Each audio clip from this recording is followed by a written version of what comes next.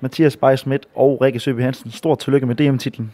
Hvad gik der igennem hovedet, da I vandt øh, den afgørende bold?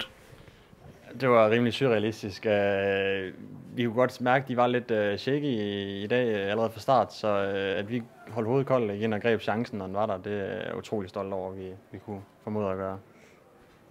Og første DM-titel, havde I regnet med det på forhånd? Nej, vi har overhovedet ikke regnet med det. Vores spil har været sådan lidt svingende fra turnering til turnering, men faktisk i den her turnering synes jeg, vi har spillet godt i stort set alle vores kampe, så jeg vidste godt, at vi kunne spille godt, men jeg har stadigvæk ikke overhovedet forventet, at vi ville vinde i dag.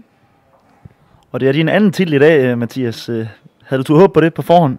Ej, ej, det skal ikke om en hemmelighed, at jeg, at det havde jeg sgu ikke regnet med på forhånd, at jeg skulle op to dage. Jeg havde været glad for en, men to, det er, er jeg rigtig, rigtig glad.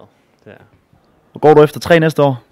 Ah, ja, der, der går nok lang tid, før jeg kommer tilbage i single. Det kunne godt være, jeg har haft nogle, øh, jeg har slået Anders mange gange i, øh, i ungdomsårene, så det kunne godt være, at jeg kamp op mod ham, så han ikke kan få sin fjerde næste år.